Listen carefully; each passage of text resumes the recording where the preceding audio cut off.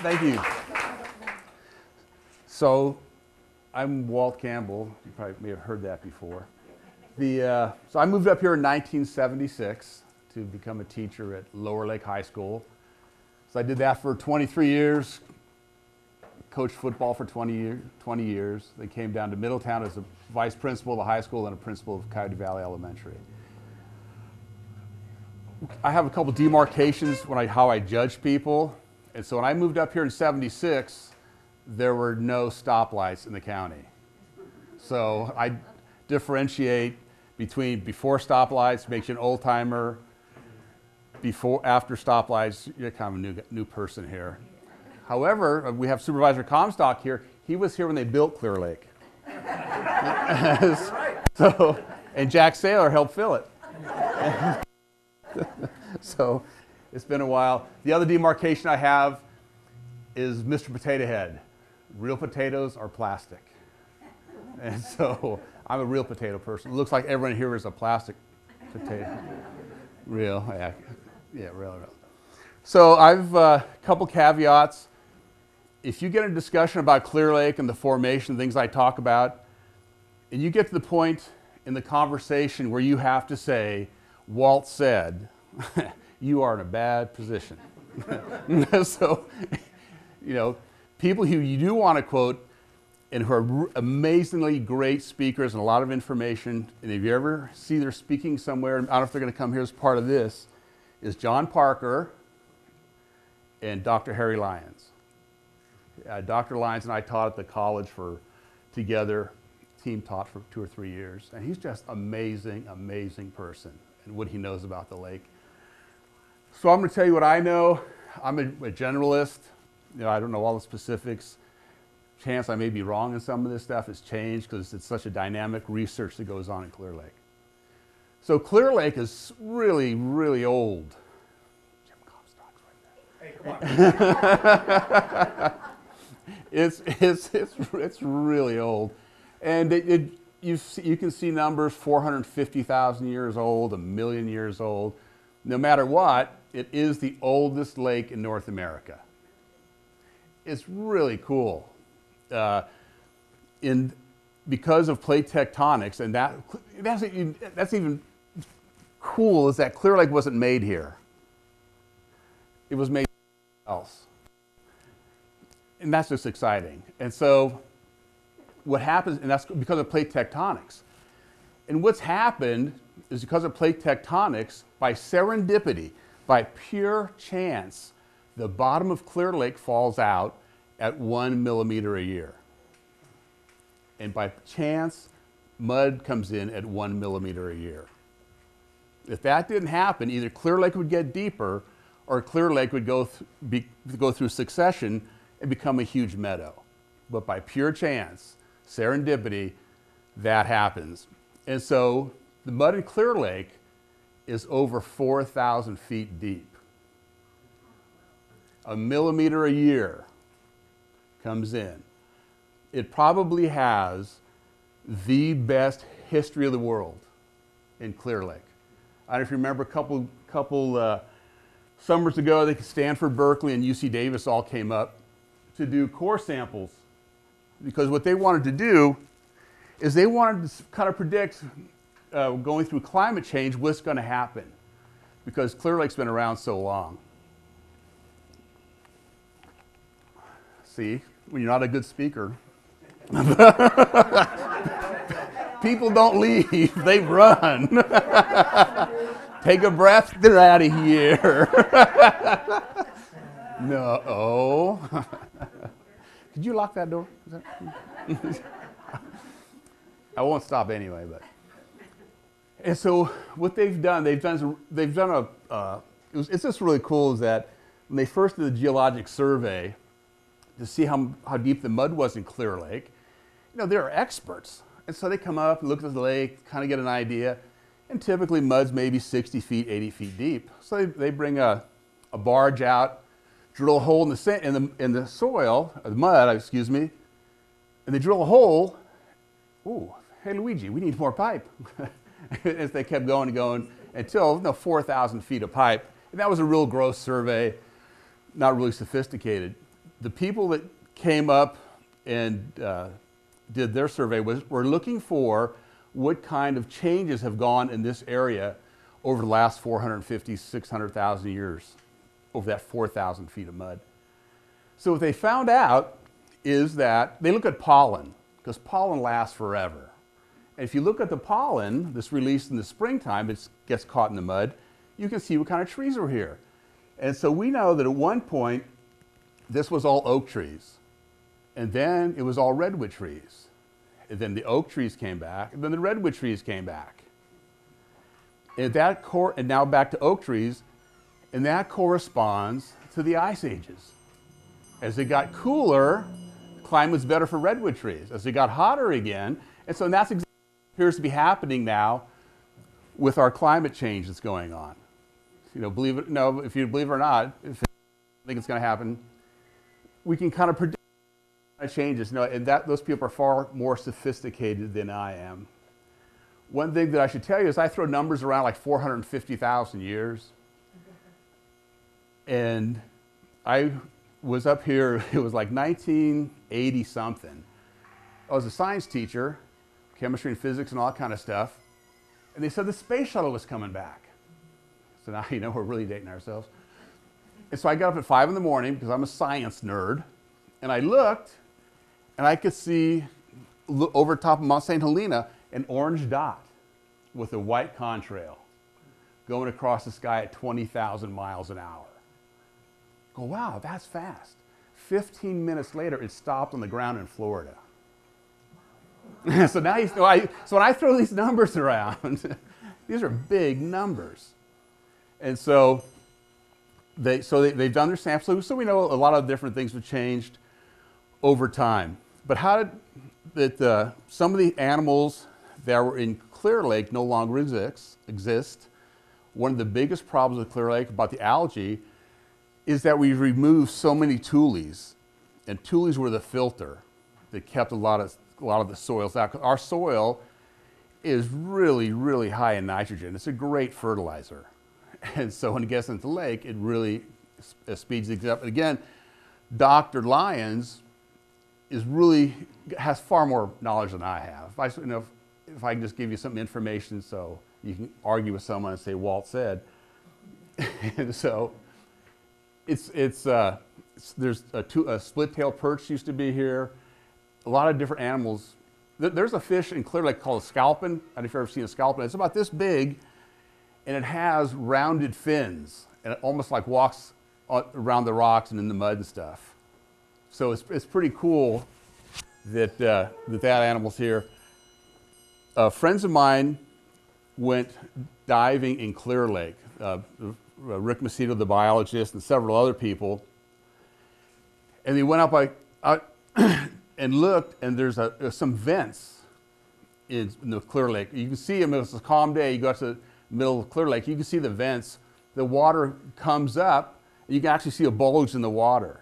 Because what happens is that the bubbles, the gas is being released, hydrogen sulfide primarily, CO2 and all that, as it comes to the surface, it, you know, it's just like opening a Coke. And so it bubbles to the top. So what they did is they went into, into Clear Lake, went diving down this vent. They got to the, know, it's dark because, because of algae and all that stuff. They got to the bottom and they found a shopping cart. So I don't know who brought that. But the uh, cool thing was, and the big surprise and discovery was, that the side of the vent was lined with baby catfish. Because what happens, as the bubbles come up, they make a current, and all the detritus, all the dead stuff on the bottom, goes into the hole and goes down the side. So they're like sitting at the end of a conveyor belt, and all the food comes to them. They get to a certain size, they take off. And so just, just an interesting thing about Clear Lake. We know the bass aren't native to Clear Lake, but it is the number, it's been number two, it's been number five fishery in the world, in North America, I should say. It's a really cool place. So all that we do now is get in our car mentally and take a little tour of, uh, of, of Lake County. And so it's kind of cool to be with someone else because you don't want to be driving looking for these things. It's always good to have someone else driving. Excuse me. So, as we leave here, we'll go down the highway. We go by Crazy Creek. Those outcroppings in there is that's serpentine. Serpentine is our state rock. If you notice about serpentine, nothing grows, very little grows on top of it. The best thing about serpentine is like the rest of the county, it's formed under the oceans and it moves here. And no one knows how. They know it starts there and ends up here. So that's really, really, I think, really a cool thing. I work now with Jack at Six Sigma Ranch, which is a 4,000 acre ranch, 4,300 acres, 4,000 acres are in conservancy, so it's, it's going to stay that stay the way pristine like it is. Jack does some great tours if you ever want to get away and that go uh, with Jack. We have a Pinzgauer military vehicle. You can go up, you go to the top of the ranch, you see Lake Berryessa 23 miles away. It's a huge, not where he goes, because they don't let him go very far, is it's kind of cool. They don't let him go very far, but at the same time, they hope he never comes back. it, it, it is, it's real cool to see, to see uh, how pristine the area is. There's a great book, I don't know if you have it here, Elsa Ahlmann, Kaj and Elsa owned the ranch, wrote a book about people who walked our land. So she, she did fundamental research, which means she went back to the census and the newspapers and all that kind of stuff to find out who lived where when two favorite stories about the ranch. Uh, this kind of digress here for a bit. One is the Switzer family, husband and wife, 10 kids, and their cattle. They walked out to settle the land. They walked out from Missouri. so I'm thinking, we've all heard those words from our kids. How much further? See, four rivers, two mountain ranges, and we'll be there. The other one, it's called the Halverson Place it's a thousand acre, was uh, separated from the ranch earlier, thousand acres. And what's really cool about that, it was won in a poker game in San Francisco by a sea captain, Captain Halverson. So he was playing poker and won a thousand acres and a house. And so it's really cool. It's down. They, they had a have a hay field and all this kind of stuff down on the down on the creek, which is just it's and there's all sorts of stuff. You'd be out walking. My son and I do a lot of deer hunting out there. We'll be out in the middle of god awful nowhere. You'll find irises so those are all those are all homesteads, you know, that people had. You think you go, wow, some irises. What the hell were they thinking? this is this is it. are you sure, dear? And so, if, if, as as we go through toward through that through the uh, serpentine, it's kind of a bluish kind of rock, and you head out, and we get the lower lake. And there's some Franciscan layer stuff there, which is really cool. But when you make a left and go towards Kelseyville and you climb up through the, through the, uh, the Red Hills, which is the newest, uh, I think it is the newest wine appellation. And it is getting a tremendous amount of press about the wines that, that come out. So we make a left, we're going up the hill, Glasgow grade, past a couple vineyards where it used to be walnuts. In fact, Kesloff Ranch, when, I, when we moved up here in 76, before the stoplights, that it was walnuts. The Kesloffs owned it. But that, you know, the big thing next was kiwis. so they took all the walnuts out, they put kiwis in. The kiwis were about the same time the emus were real big, those, those four weeks. and in fact, in fact, a friend of mine I taught with at Lower Lake, she paid $2,000 for an emu because that was, oh, I'm retiring tomorrow. I think she has two more years to pay off the emu. And so, and so that, then now it's, it's all grapes, Shannon Ridge grapes, Gregory Graham's grapes are up there. Then you keep, then you keep going up. It used to be all walnuts to the left. It's all grapes now. And how much kind of inter, kind of cool things are happening today. That on the left, Amber Knolls, is owned by Andy Beckstoffer. He is the man in the Napa Valley. He owns more property, more vineyards in the Napa Valley than anyone else. He, he is going to do great things for the county. He's doing a couple of things, but his, he gets up to $17,000 a ton for his grapes. Because he, he was the guy who figured it out, is that they would come up to you and go, I'll give you $5,000 for your, for your ton of grapes. It's so, deal. He goes, you're selling for $150 a bottle? So he links his price to the price of the wine. So that's why he gets these huge numbers because they're going to make a lot of money. He's going, I'm going to be part of this deal too. And, you, and so anyway, so you keep going past all that Thornhill. No, I keep naming the wineries, and you get up to Kitts Corner.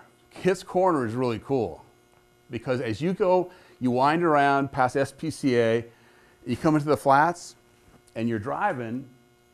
You're driving through an ancient volcano. As you go through Kitts Corner, go. That's a good price for gas. You drive, there's a there's a hill to your right. That is the actual lava dome that sits on top of the ancient volcano. So as you keep going, it's all flat because you're going through a volcano. I always sit tall just in case. I can't tell you where the next eruption is going to be, by the way, and we're way overdue. That's 10 bucks at the door. So if you're going if you're to leave early, give me your address, email address. Gets to the far end, like you're going towards Kelseyville, because you are going towards Kelseyville. There's white rocks there, S bar S. That's pretty fascinating because you just went through the red hills and it's all red, and over there it's all white. What's happened, and sometimes you go through in the winter when it's real still, you can smell the hydrogen sulfide, the rotten egg smell. Yeah. My son works at the geysers. He'll come by and visit because he needs something. we all, all know that's sorry. He, oh, in the, in, in, in, the scrubbers today, were you? that's rotten smell. But that's, it's H2S. And it's under the right conditions, H2S, hydrogen sulfide, becomes H2SO4, which is battery acid. That acid bleaches the red rocks white. So, so that, that, that's, that's pretty cool. So now as we go, go along, we go through, uh, a big, you know, through Kelseyville, the big, big valley there. This, it's kind of cool in there is there's the, the Ranch. The Mostyns have been here a long time, but by the Quercus Ranch uh, on the north side of town out there. They have Kelsey Creek goes through there, and I haven't been over there in a long, long time. But Kelsey Creek goes there, and every winter it cuts the sides of the hill and exposes lots of artifacts and bones from Native Americans. It goes out as virtually all a cemetery out there. And so USC comes up, and I think Berkeley comes up, and just you know, does categorizing and see what kind of stuff they can find. He, uh, Mr. Mostyn had a tremendous points point collection. So as we go through uh, Big Valley, Big Valley, and keep going through Lakeport and all that, if you look around Kelseyville in the Lakeport, you look up and you can see in the far, far, sorry, time's up. and you win. and you can see Snow Mountain, the highest peak in Lake County. It's got, you know, I saw it uh, yesterday or day before I was going to, to Lakeport. You can see it. It's real cool. It's a seamount. A seamount are volcanoes that are formed under the ocean. So what happened to Snow Mountain, it, it, they think, because it's not real clear exactly what happened, is that it went underground 11 to 12 miles and then resurfaced there. So that's pretty cool that that, that, that, that happens. So, and how that happens is plate tectonics. The world is seven giant plates. There's the gotta go, gotta go. It had better be the damn governor calling you for. Everyone's going right now, thank you.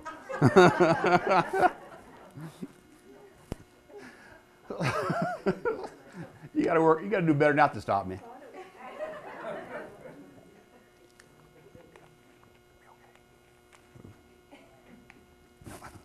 I'm going, I'm going, my phone's gonna go off that. it's gonna be my daughter saying, hey, Dad. Uh, so we, uh, so we have these plates that slide around. There's a really cool place where three, three faults meet off of, off of uh, Eureka. It's called the Triple Sec. And that's why you'll see a lot of earthquakes up there. There was just one there like four days ago, a pretty, a pretty good sized one. Like, no, in the guys Geysers we always have them for a variety of reasons. But w- Sorry, I'm trying.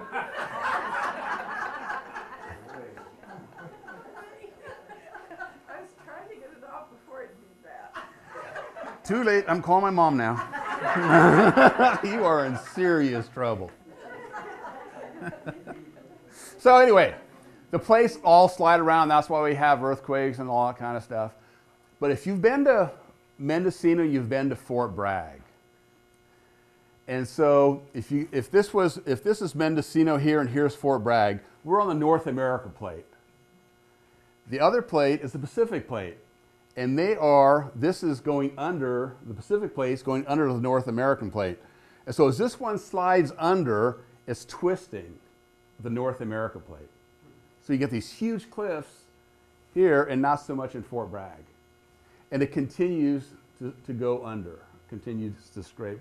Because you know, I said about the, 20, the space shuttle, millions upon millions of years. I have a, a house with my wife in the ranchos and a guy geology teacher that I work with, I said, hey, he goes, I can I take a look at your place? I go, yeah.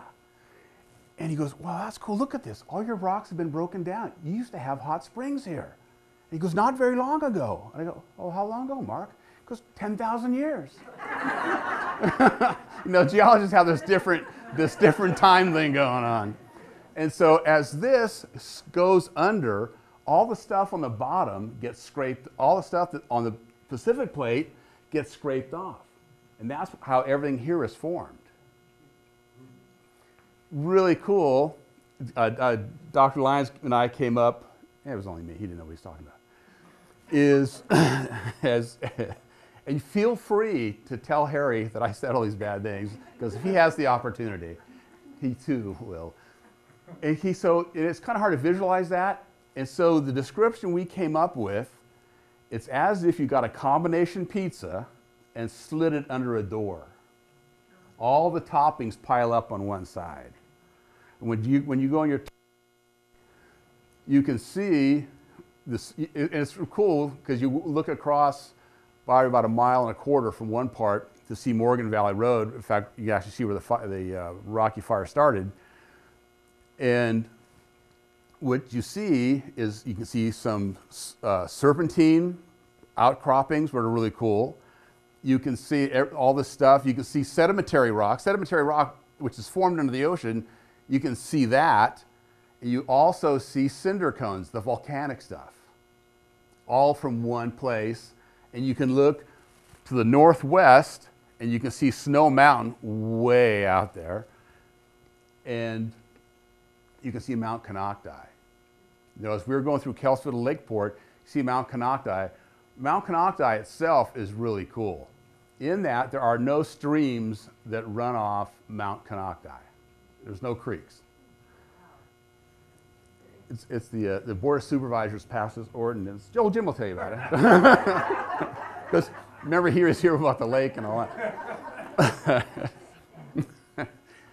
um, and so, because it's so porous, it's a hollow mountain. And it had another great surprise. There was a, when the gold mine was going, we had the gold mine out on Morgan Valley Road. And they took out a tremendous amount of money out of there. The geology teacher I worked with was one of the first geologists and said how rich it was out there. So, the guy working out there, their geologist was Norm Learman. Yeah, great guy, a lot of information. So he was, the, the, they think there's a vent in the middle of Mount Konocti. And he was pushing National Geographic, and, and he was just loved doing with the geology stuff. And evidently, when you're a geologist, you have a lot of time. And so they, he said he thinks what happened, the verbal history and all the different things, and I'm sure John and Harry will know more, is that there's uh, stories that there was an opening you could actually get to the vent. There's a story of one person, don't know if it's fact or fiction, in the 20s, dropped a two by four, something written on it, and it ended up in the lake. There's, uh, you know, fact or fiction, who knows? And, there may be all sorts of other stuff. So here's real cool. So the geologist came up and looked at Mount Konocti. In fact, well, let me back more about Mount Konocti for one second. When, if, if you smoke cigarettes, and you shouldn't, and you go by uh, uh, and find some pretty good cracks and crevices and stuff, if you get your cigarette or some smoke source and it's high pressure, it's you know, like the summertime high pressure, the smoke will go into the mountain. And when a storm comes, low pressure, if you put it, put it in the same place, it would come out of the mountain. So that's how porous it is. If the, when the, when the geologist, geologists showed up, they looked at Mount Konocti, because geologists are pretty smart people, sort of. No, not as good as a biologist. Uh, but they look at Konocti. In fact, I was, oh, I know, I was watching the Board of Supervisors. I couldn't get health on TV. I couldn't get the show.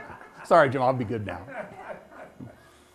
But the picture they have behind them, if you, uh, if you take a look at the picture they have of Mount Konocti behind them, you can see there's a big divot out of it.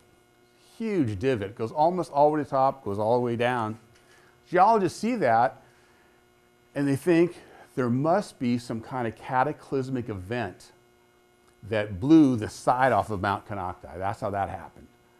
So the way you find that, if that's true or not, is you do a survey all around the mountain.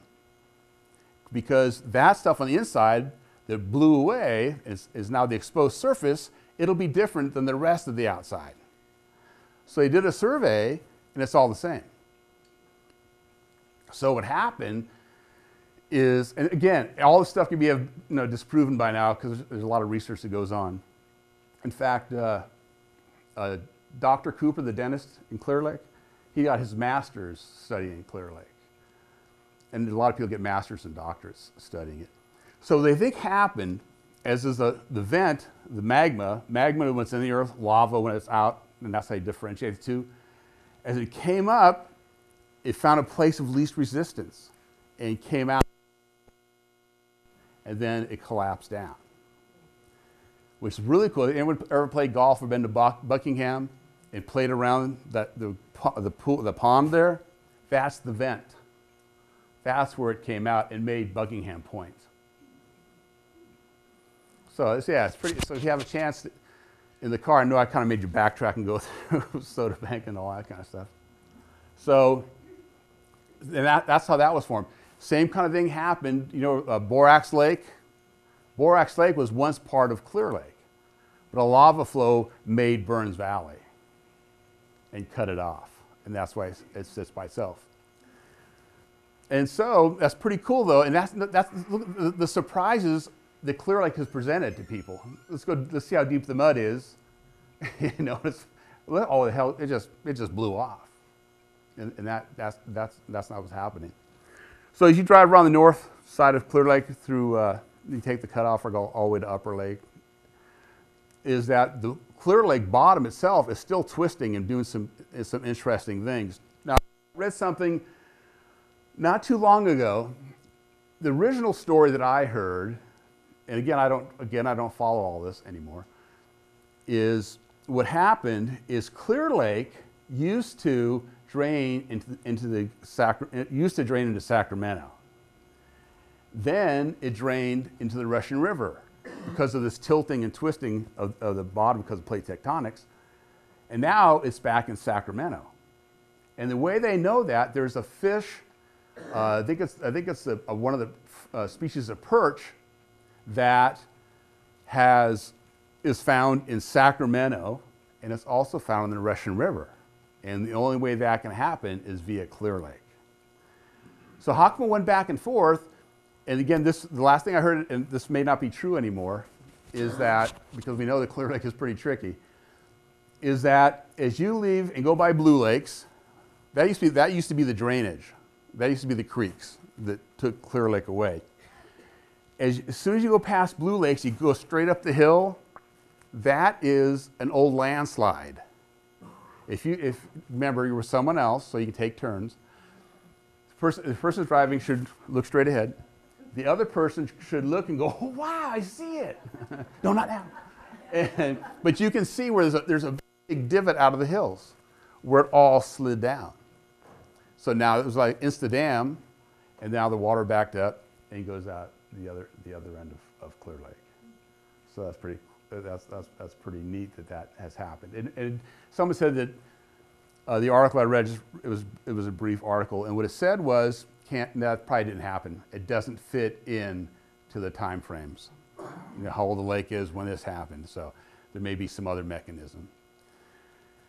As you go by, through, you know, through, the, through the Oaks and to Soda Bay, to the Elem colony, there used to be a mercury mine there. It's still there, and it still leaches in.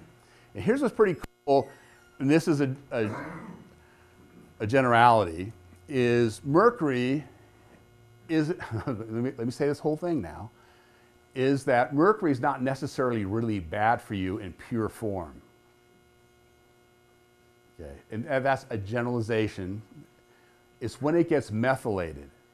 It's when it becomes part of a biological organism.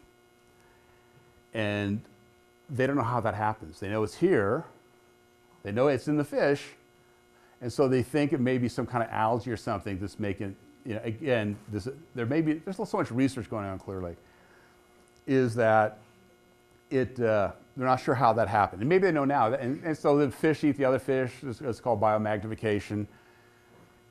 And it gets into the fish's liver and does all, and it, and so that's why they don't want you eat. That's why they don't want you eat more than one fish a year, or one, one fish a week, or one fish a month, something like that, and not to eat the liver. Fish liver is my favorite. Deal. and so, and they've done a lot of studies. Uh, they take uh, hair, kind of like what they're doing in uh, where, where's the city that's having all the trouble? Is it Detroit? Flint. Flint, Michigan. Saying no, they can take they, they, they can take hair samples I do, I've been donating like crazy lately. and they can, they can find out how much mercury is in there and different, different chemicals, lead, whatever it is. And at the same time, mercury is really, really bad for your nervous system. Uh, you've heard of the Hatter's disease, Mad Hatter, Mad as a Hatter. That's because back in the day when they made felt hats, they used mercury and they didn't know how bad it was. And so it, and those people, the Hatters, became mad and had, had all palsies and all sorts, was Mad Hatter. It's kind of like I was reading an article about Madame Curie, who did all the research with radioactivity. Her, her books, her notes are so radioactive today, you can't handle them. so, and that's what ended up, no. Uh, so, so as we, we come back around, Native Americans in, holy cow. I, I, here's the bad news. I've already done the good stuff. it's, bad now. No, uh, our Native Americans have been here long time, 12, 14,000 years ago. And, it's, it's the same thing about numbers. And I read articles in the, in the, Merc, in the Middletown Mercury News or Lake County News that our the Native Americans here were doing their thing the same time the Egyptians were. These are wow. You know, you know, I, never, I never made that connection. Here's the, here's the bad connection I made. The, in general terms, the bigger the arrowhead, the older it is. Excuse me. The bigger the point, the older it is. Some are 10 to 11. John Parker has a great piece of paper. I don't know if you guys have it here or not yeah, it's just so cool. It, it kind of tells you what was going on, all this kind of stuff. And he was on TV. He talked at the museum in Lakeport.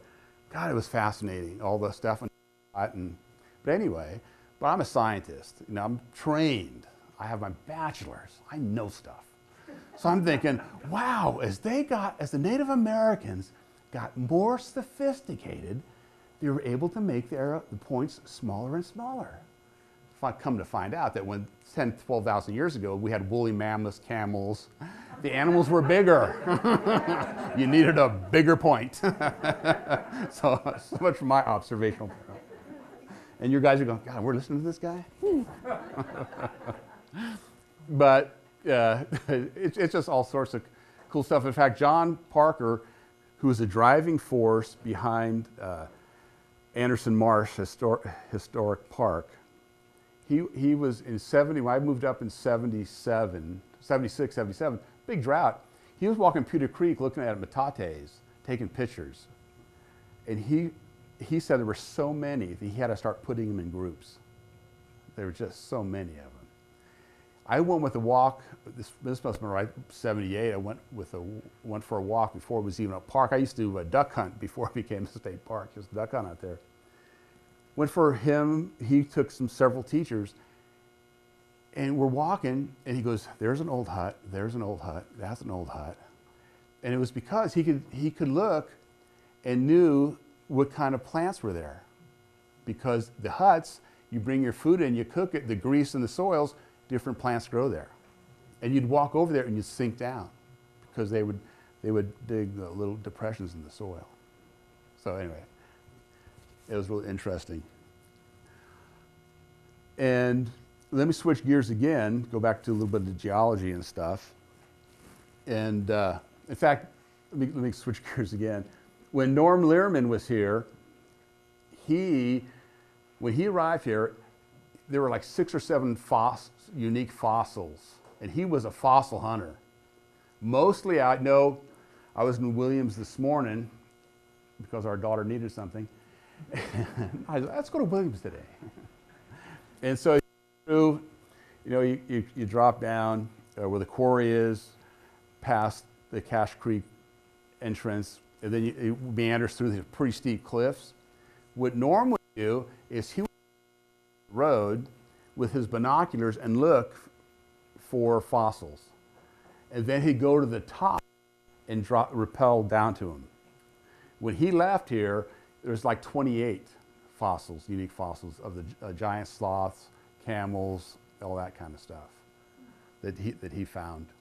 And I, I forget where he went. But he, another, another good guy, if you, if you can talk to uh, Norm Anderson, he used to be with Vector Control he has a lot of neat stuff about the lake and some of the stuff he's, he's found. So that, that'd be three really good people.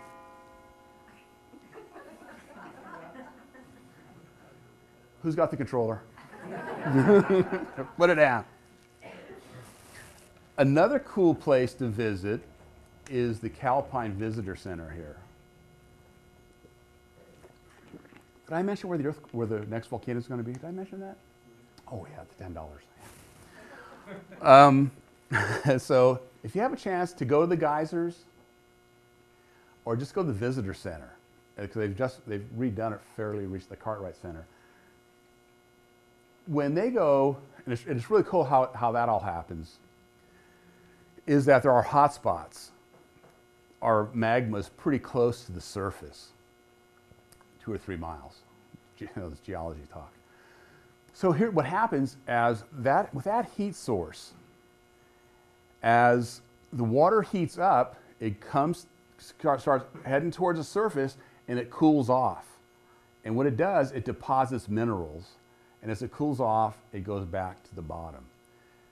As they go through, as this process continues over millions of years or hundreds of thousands of years, um, it must be millions of years, what happens is that it develops this big old cap, it's called cap rock, this big dome, and superheats the water. The water's still heated because of, this, because of what's happening with the magma, heats it up, comes to surface deposits, and it gets thicker and thicker. It is so hard, and it, can be, it can be two or three miles down. And when they drill down to it, the bits they use, and this again, this is old news, I may have better technology now, but the, the drill bits they use in Texas that last three weeks, a month, last one shift because it's so hard. And as they, as they get down there and as they drill down through when the and I can't, I still can't fathom how they do this.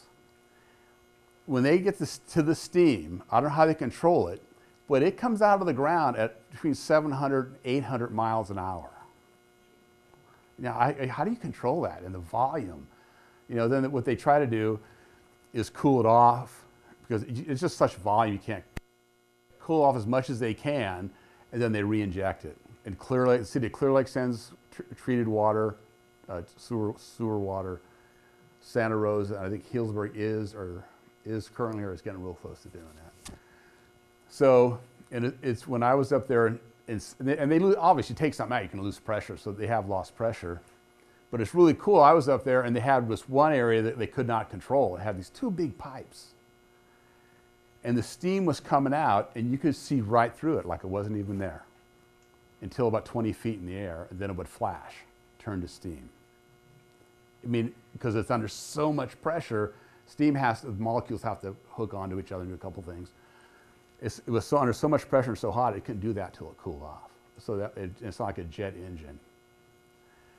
Um, so that's a cool place. That's a cool place. to see. Another cool place you can go visit here is Boggs Lake. It's the largest vernal pool in the world. A vernal means spring. And what happens, right now, I, I imagine it's really full with all the rain we've had. So then our rain, hopefully not for a while, is going to stop. And what'll happen, this, the, uh, the vernal pool dries up. And as it dries up over a period of time, the temperature changes, and so different flowers blossom different times of the year. So you can go up there one time and see one kind of flower, then a different kind of flower. And I can't remember the name of it, but there's one flower up there that would come out. It comes out one night a year, releases its pollen, and fertilizes. The, the, that- that's when the males, the female flowers get fertilized, and then they go back under the water and develop their seeds, and then they come back up and release them. So there's all sort, and and there's all sorts like that, that stuff that makes uh, Clear Lake so special. You can go. In fact, when I was still teaching, we used to do a field trip. The oldest, the, uh, the biggest, and the greatest, and it would be visiting the geysers, Boggs Lake, and Clear Lake. Yeah, and, and we, we leave at eight, come back at three. I, I don't think there's too many places you can do that to see the mo- unique things that aren't found anywhere else. So that's that's pretty cool. Are there any questions? No questions. Okay. Maybe you didn't understand what I said. No questions? yes. Okay, oh, there are, right now, there's snow on Snow Mountain, and then there's snow on another mountain over there. Which is which? Which is which? the other one? The other one is the one that's not Snow Mountain. Oh, okay, Okay, here's, here's, here's, here's, a, here's a story before we continue on with the question. I, I don't know Doris. Is uh, dad and mom get a divorce. Mom takes the kid. Dad moves away, moves to the desert. Son goes to visit him. He goes, Dad, how come there's, there's no water here? How come there's no rain in the desert? Dad goes, Son, I don't rightly know.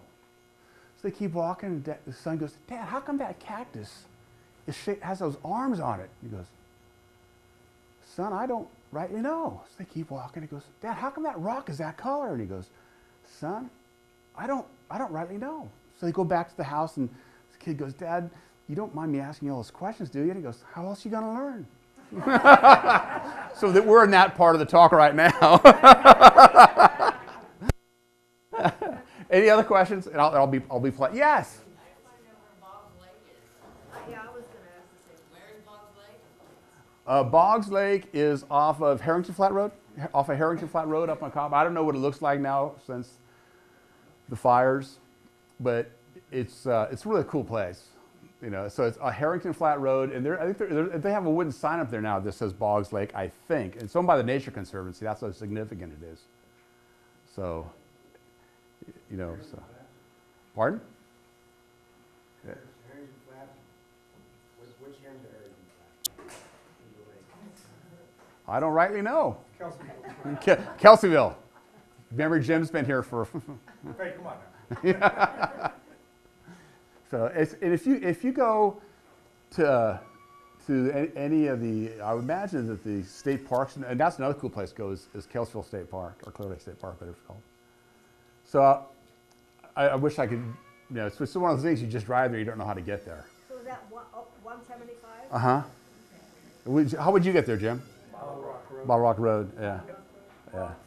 Doesn't, I think if you look in the paper, Darlene Hekanovich, um, takes nature walks up there, maybe once a month or once every couple of months.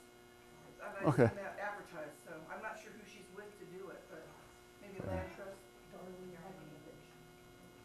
Yeah. She's a very, very, very nice lady. So you can drive to Bob's Lake? Yeah, if you have a, you have a parking area, then you got to walk the rest of the way. Before they, they, Nature Conservancy bought it, it was a racetrack. Kids would take their motor, motorcycle up there and race around it and stuff. And that's another place I, I should have talked about. Is when you go when you go up to the to the top after Glasgow Grade on of Lower Lake, you see that there's that big fissure in the ground. It says Guy's Fault. So that was all marsh. Now you've noticed how high the road's built up there. So what someone thought they wanted to do is they wanted to be able to race motorcycles there, so they drained the water out. And so then now they have a way for the water to get out, so it just eroded away. Another person who had the same general idea is Mr. Boggs, who owned Boggs Lake. That's how it gets its name. He made ice and brought it to Middletown and stored it for you know in a barn with all the hay and all that kind of stuff, sawdust. So he had he did he did, wasn't a geologist. So what he did was he thought, I'm going to dynamite the bottom of Boggs Lake, make it deeper, more ice. He didn't understand how the ground's all fissured up there. So what he, when he blew it up, he created a funnel. And all the people down the hill talked about in the, in the his, uh, his, his history reports is how much better their springs flowed for the next several years. it eventually no silts it up, and but that was. The, there, there's a couple really interesting. If you read some of the old, old original uh, records of what happened up here, they talk about Mr. Boggs uh, and, and Mr. Cobb and all those people who lived up here and what they were doing and how they formed the first bank, and it's really interesting, interesting stuff. Yes.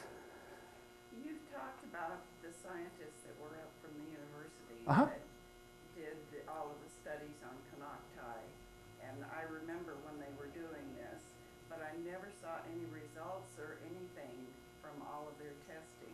If, if you go uh, the geologic, geologic survey uh, website and type in Clear Lake, and you'll find all sorts of information. But you know, it's you, you, you got to want to read it because it's not. It's, it's, it's, it's very I've cumbersome. always wondered, but I, Yeah. There's lots of publications. The most famous publication on Clear Lake is Rachel Carson's Silent Spring. It was ba- it's based on Clear Lake and, and how they sprayed DDT. uh, Pardon not the whole book. And so it, Silent Spring was that they sprayed DDT, and, and Dr. Lyons has really good stories about all this. What it, what it did is it made the grebes, western grebes shells really soft. And so when the birds went to, to, to incubate the eggs, the eggs crushed. And so there was no more. Because they talk about how the swarms of gnats up here was like fog. There were so many of them. They, and they sprayed. I don't. I do. I do too. I do too. We were in the red and white store in the Oaks, Uh huh. and we moved in nineteen sixty. And you could not see the outside light. Really? The gnats were so, and they were, you know how gnats Uh-huh. go? It just covered everything. Really? Yeah, yeah. Wow. Y- yes. Um, I just like to ask that when people want to say something, that they wait until she brings the mic so my husband can hear and get them recorded. Okay. That's all I want to say. Maybe, maybe better if they ask the question and I wait to see if I knew the answer or not.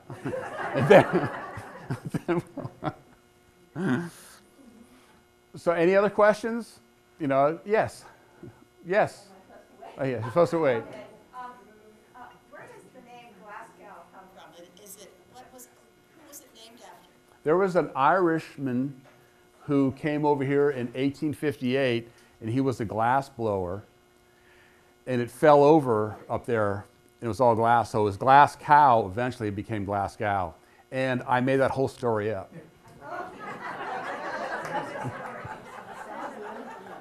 I have no idea. I'm, I'm I'm gonna pass that never let the truth get in the way of a good story. Uh, anyone else? I know it's been, a, it's been an hour already, so that's about as much as you can stand of me. That's it? Well, thank you very much, and please appreciate that.